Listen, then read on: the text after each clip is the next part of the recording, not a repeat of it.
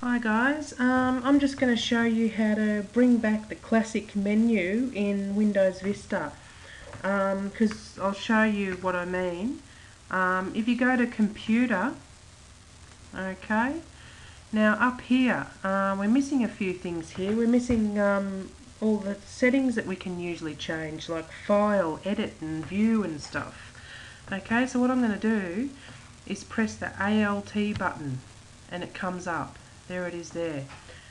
Now this is pretty important because it's got all sorts of things in here. It's got the copy, paste, move to folder, copy to folder, view, um, change the size of the icons, change it to a list or there's so much there.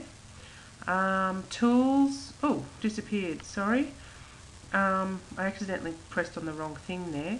Tools menu, uh, it's got folder options in there and more. Okay, so what happens if I, if I press ALT, it disappears. If I press it again, it comes back. Now, if you um, want to keep it there, just go to the Tools menu and press Folder Options.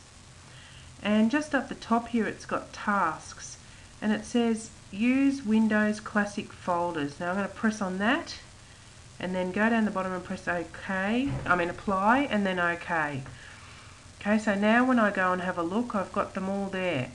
Now, even if I go into any of the other folders, they're still there, which is good. Okay, because you've got plenty of settings in there that you might need to change. Um, I think that's about it. Okay, thanks for watching.